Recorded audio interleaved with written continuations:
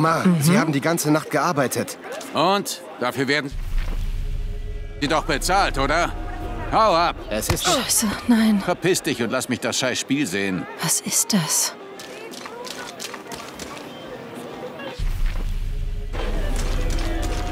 Es wäre großartig, diese Diebe loszuwerden. Alles in Ordnung? Nein, alles ist schrecklich, wie immer. Diese Plünderer kommen her, lassen uns unsere eigenen Reliquien ausgraben, zahlen so gut wie nichts. Und hauen mit den Funden und dem Profit ab. Wir alle hier sind verzweifelt. Seit Porvenir weg ist, gibt es keine Arbeit mehr. Wir sind am Ende. Und der Sturm war vermutlich auch nicht hilfreich. Das wenige, was wir hatten, ist weg oder unter Wasser. Ich weiß nicht mehr weiter. Ich habe einige Erfahrungen mit solchen Leuten. Vielleicht kann ich helfen. Ich weiß nicht, ob das was bringt. Wie war nochmal dein Name? Laura. Ich bin Viktor. Wenn du mit Omar reden willst, dem Anführer der Peiniger, Diebe und Plünderer, er ist da drin. Danke. Sei vorsichtig, er mag's nicht, wenn man aufmuckt.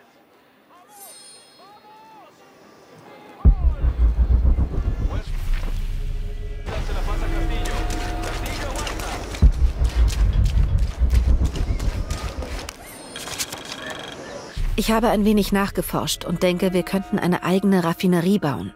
Es wird allerdings große Anstrengungen erfordern und ich kann es nicht allein machen. Wir müssen einen Öltank mit einem Fassungsvermögen von 1000 Litern bauen. Der Rumpf des im Fluss gesunkenen Schiffes wäre dafür vermutlich geeignet.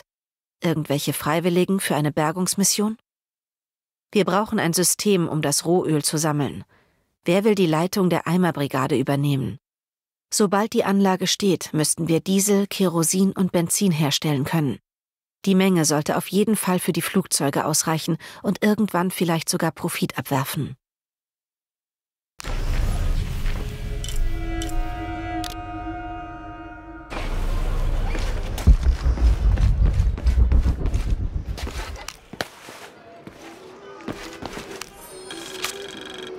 Das scheint Abbys Stammbaum zu sein. Ihre Familie lebt seit Hunderten von Jahren in diesem Dorf. Und wie es aussieht, ist sie mit den meisten Dorfbewohnern irgendwie verwandt.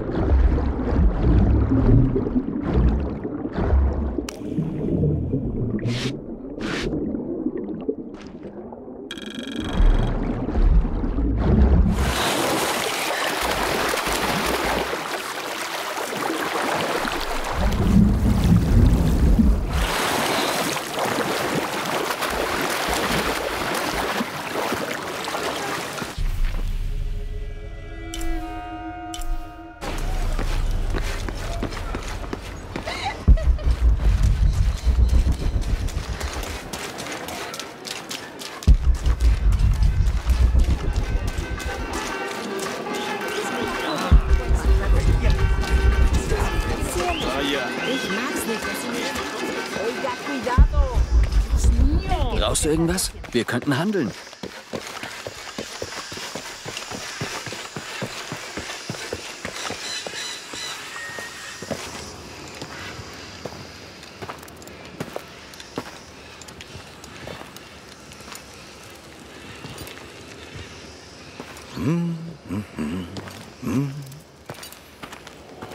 Hey, das sieht von außen viel größer aus. Was hast du gemacht? Jonah, sieh mal. X-Chell und Chuck-Chell. Die Zwillinge werden wieder vereint.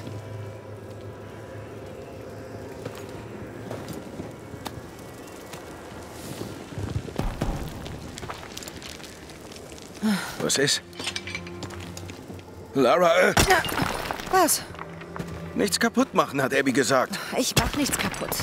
Ich restauriere das Original. Das wollte wohl jemand verstecken.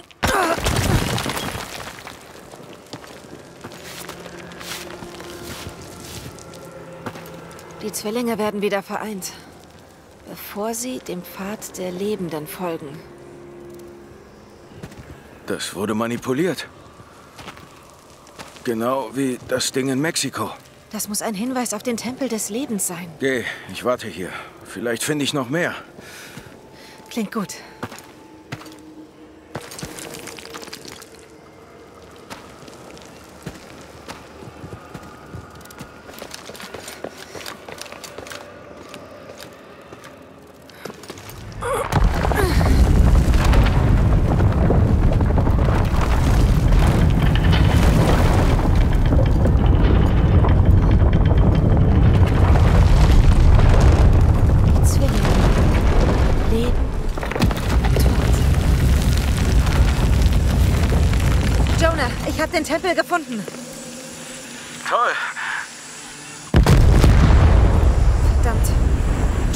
Schon da und sie sprengen sich den Weg frei. Ich versuche ihnen zu folgen.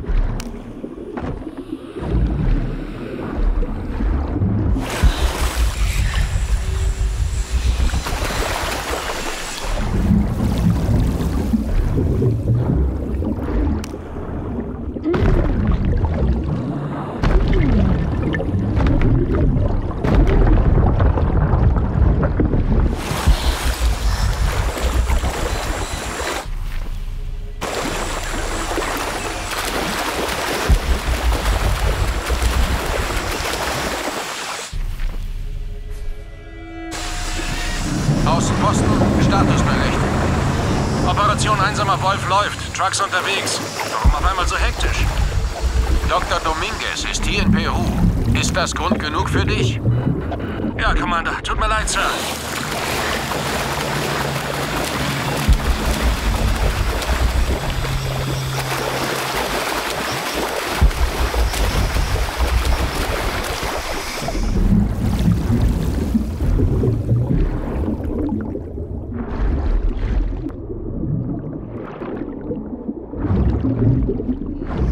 Die Drohnen waren unerwartet schwer und scharf, aber das Boot ist okay. Gut, dass du da bist. Wir haben ein Problem. Der Generator schon wieder? Bin dabei.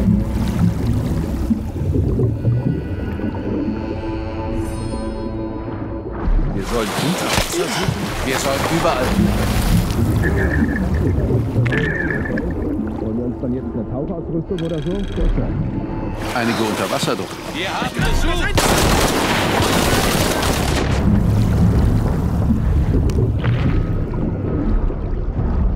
Feuer einstellen! Ich sehe nach, ob sie noch da ist.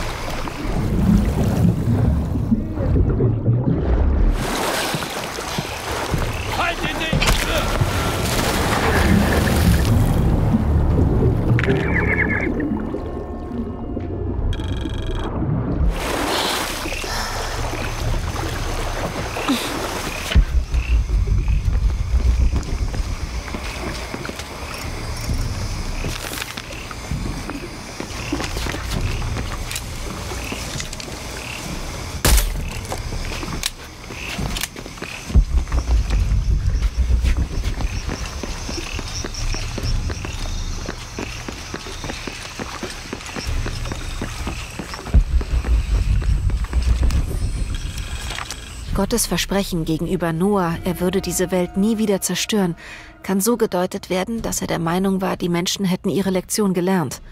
Aber haben wir das? Eine andere Deutung wäre, dass er der Menschheit selbst die Kraft der Zerstörung gewährt hat. Wir sind verantwortlich für alle lebenden Seelen, die jetzt jedoch verdorben und abgestumpft sind. Es ist 4000 Jahre her, seit die Welt zuletzt echte Reinheit gesehen hat, und wir haben vor, das zu ändern. Wir werden die Architekten einer neuen Welt sein. Wir werden allen den Weg ins Himmelreich ebnen. Wir werden dieser sündigen, verwerflichen Welt ein Ende bereiten. Hm, unmöglich. Ich kann nicht mehr tragen.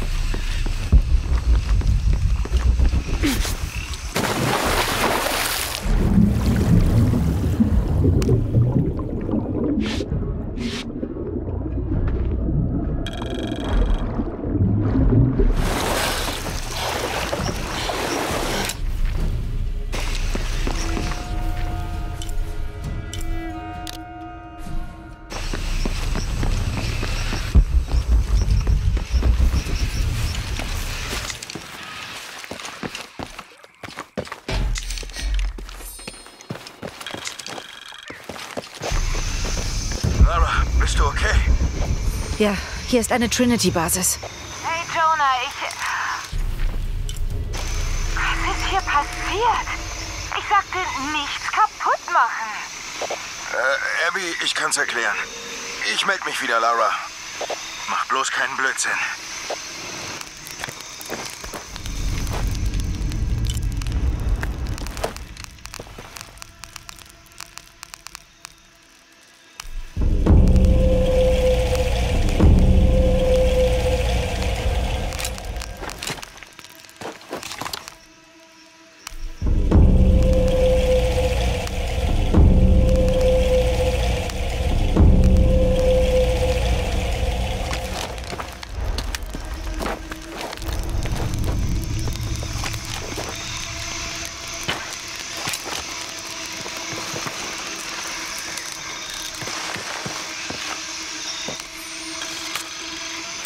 Die junge Croft ist aktiver und weniger vergeistigt, als es ihr Vater war.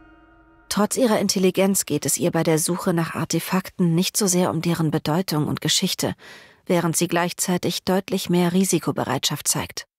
Ohne eigene Kinder oder Familie kann sie sich gänzlich auf die Verfolgung ihrer Ziele konzentrieren, wobei ihr Verhalten teilweise an Besessenheit grenzt.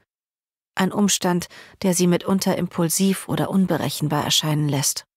Wir sind dennoch der Überzeugung, dass sie aufgrund ihrer Tatkraft und Persönlichkeit leichter zu beeinflussen sein und eher Ergebnisse liefern wird, wenn man ihr größere Herausforderungen in Aussicht stellt.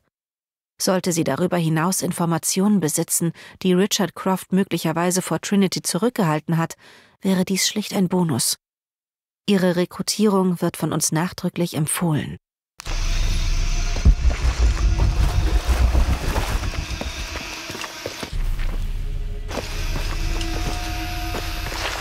Riegeln wir eigentlich alles ab? Weil Commander Rook den Bereich halten will.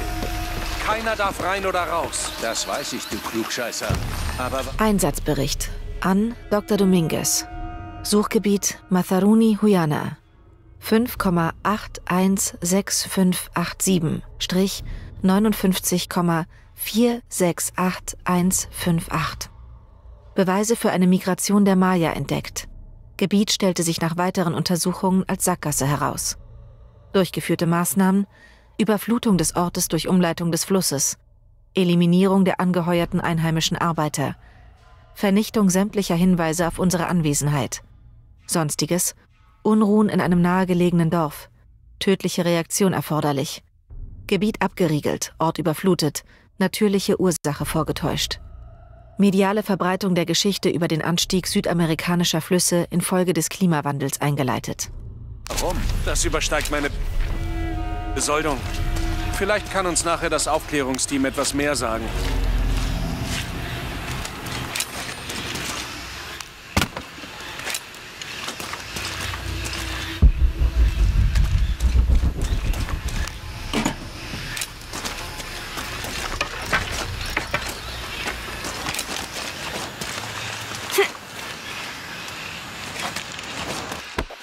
Porvenir, hier ist Commander Abriegelung erfolgt?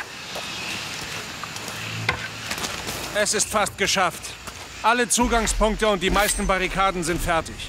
Fast ist nicht gut genug. Sichert den Bereich sofort und sucht dafür, dass alles nicht ist.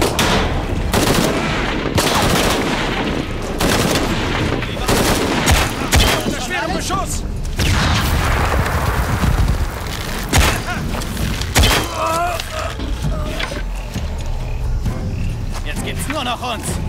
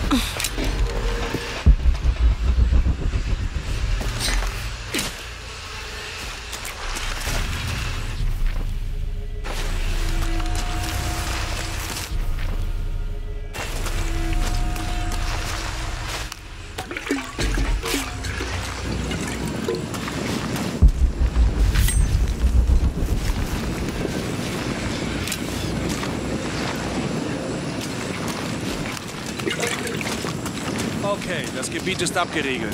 Jetzt müssen wir auf das Aufklärungsteam warten. Findest du das nicht etwas merkwürdig? Es gab unten ein Problem, aber wir schützen uns gegen eine Bedrohung von oben. Alles wie gewohnt. Verdammt, sie macht Jagd auf uns!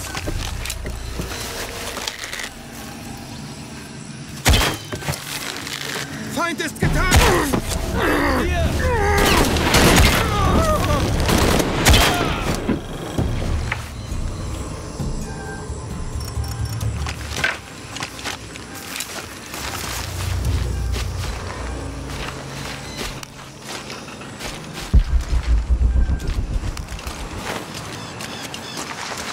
Jonah, Commander Rogue ist hier in Peru.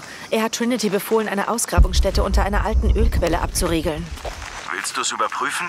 Ja, ich werde nachsehen, was Sie gefunden haben.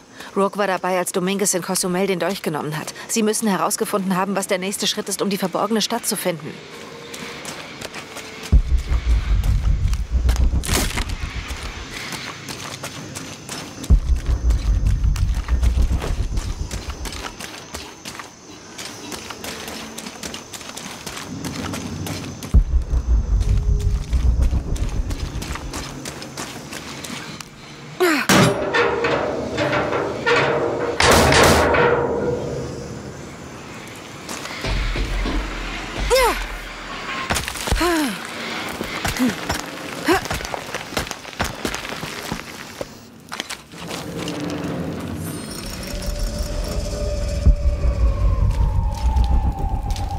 Hier hat ein Blutbad stattgefunden. Was ist passiert?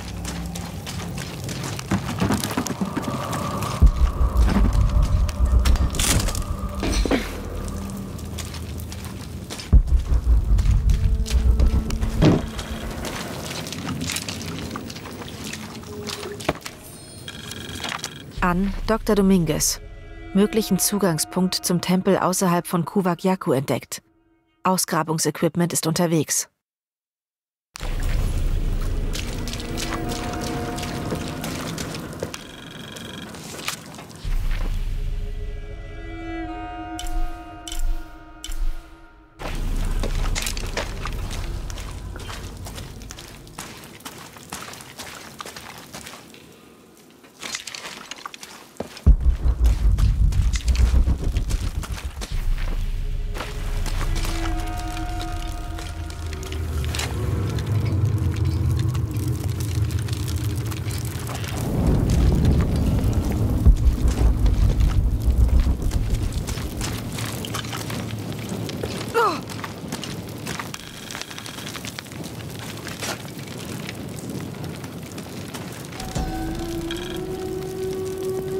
Vom Tod zum Leben, vom Neumond bis zum Vollmond dient dieser Tempel als Wächter der Schatulle.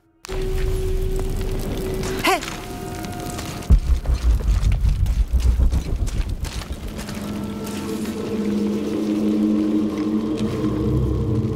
Jonah, ich bin jetzt im Tempel. Ich glaube, wir haben hier auch was. Einige Zahlen. Ich überprüfe das.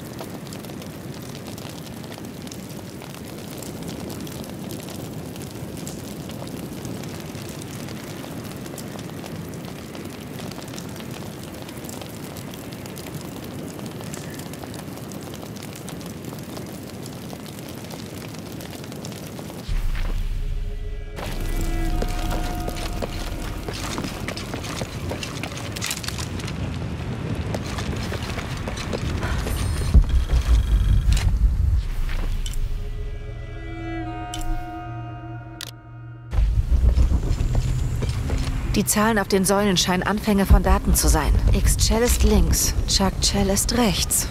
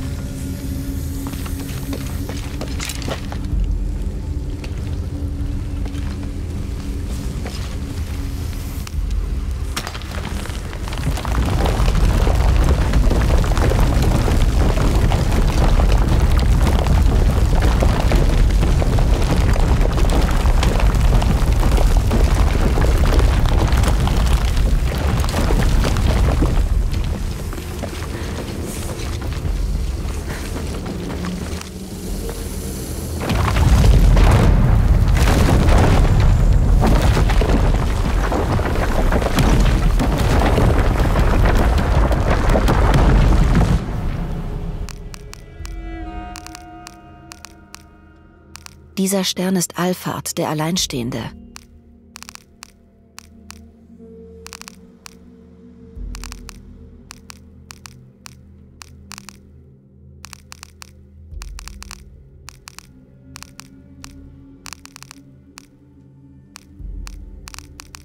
Die Würdigen sollen der roten Jonah,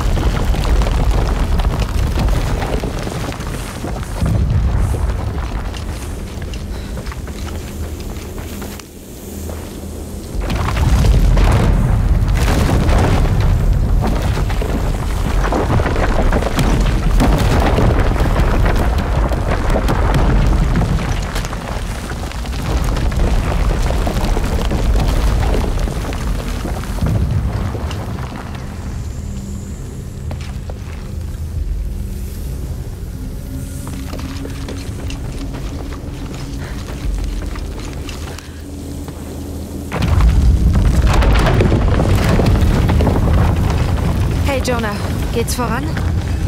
Ein unvollständiges Datum und eine Darstellung von Chuck Chell. Ich habe hier zwei Daten und X-Chell.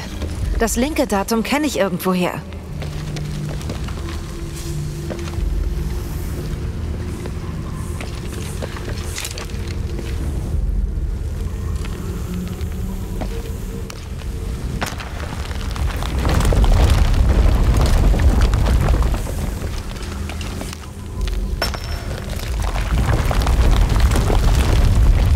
Okay, Jonah. Was ist die letzte Zahl für Chuck Chell? Waagerechte Linie mit zwei Punkten darüber. Sieben, oder? Danke.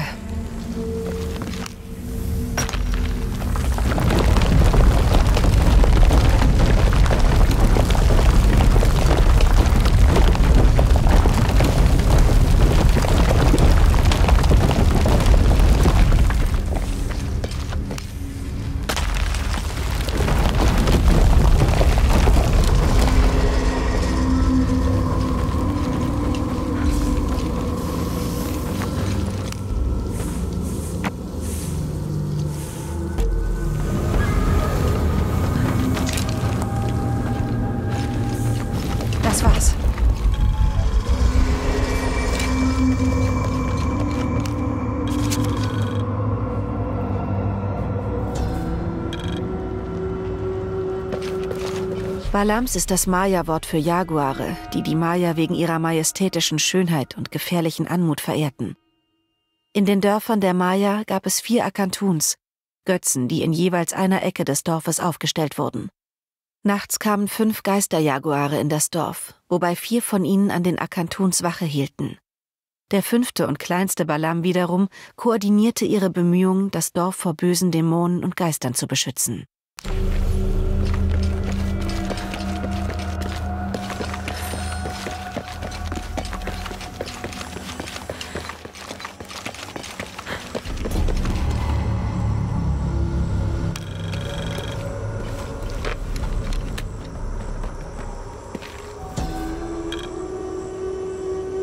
Selbstmord galt bei den Maya nicht als Frevel, sondern als ehrenhafter Weg aus dem Leben zu scheiden.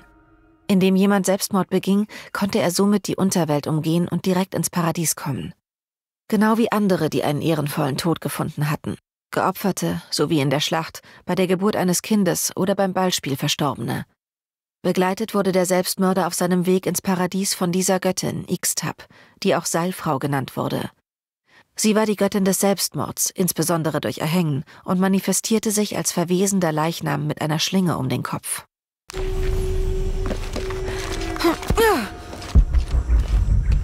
Jonah. Hey Lara, hier Abby. Oh, hey Abby. Hier ist eine Wandmalerei. Es stellt offenbar etwas wie eine Reise dar. Dem Zugang durch ein Jaguarmaul folgt eine Schlange in Richtung des Silberauges. Aha. Unterwegs ist eine Spinne und ein Adler steigt zu einem Tempel auf. Okay, das meiste davon sagt mir nichts. Aber ich weiß, wo das Jaguarmaul ist. Wirklich? Ja, Katzenskulptur, große Zähne. Oh, er ist zurück. Laura, bist du okay? Das ist der Weg zur verborgenen Stadt. Wie es scheint, werden hier verschiedene Prüfungen beschrieben. Der Zugang erfolgt durch das Maul eines Jaguars. Dann sind da noch eine Spinne und ein Vogel, der zu einem Tempel aufsteigt, der wiederum zu einer Schlange mit einem silbernen Auge führt. Ja, ich gehe zurück. Gut. Das hier wird dir gefallen. Das beschreibt etwas in der Nähe. Zwei Wächter haben Fänge, zwei Wächter haben Füße. Ein Wächter hat beides, um mich besser zu beschützen.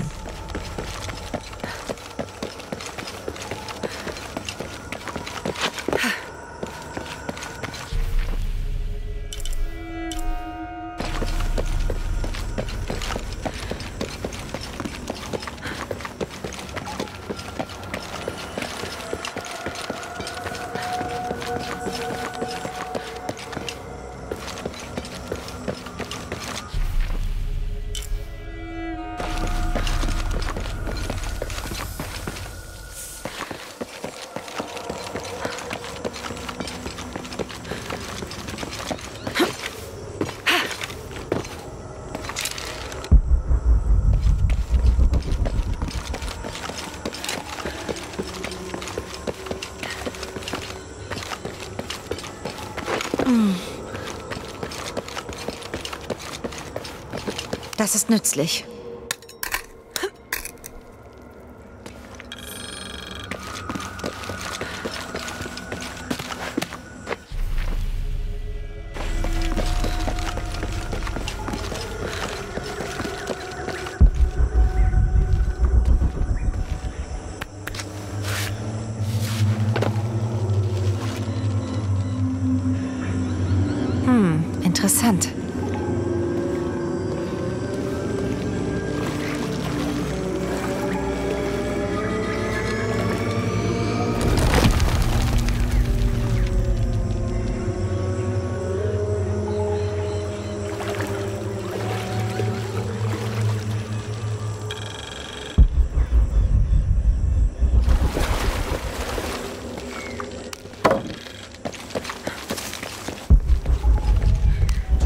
Diese grobe Skizze zeigt einen Tempel, der sich inmitten einer Stadt erhebt.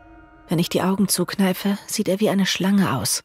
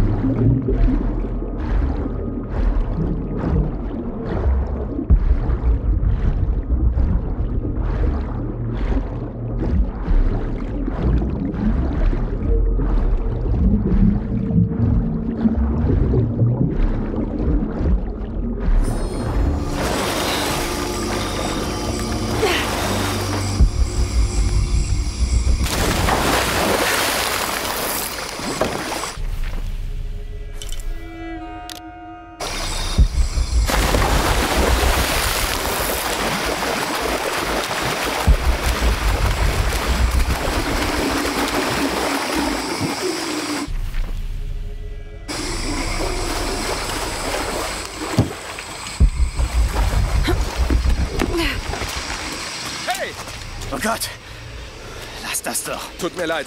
Hat sonst jemand geschafft? Keine Ahnung.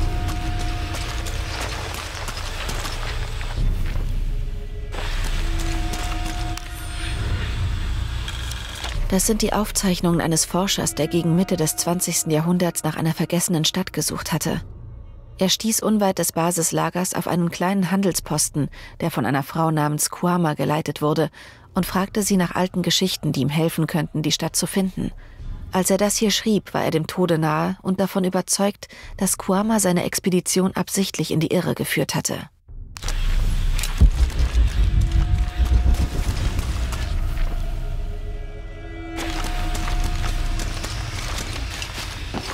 Basislager?